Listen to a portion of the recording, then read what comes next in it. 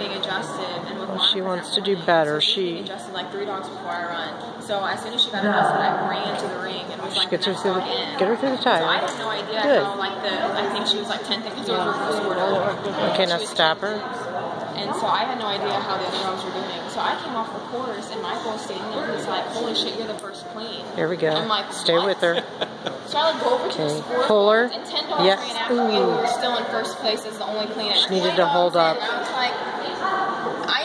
make the podium with. She needed to hold her up a little bit. Run. I was like, Come on, hold your feet. Hold your feet. So I'm like, Bliss ran. She was playing. I'm like, okay, like, there is no way.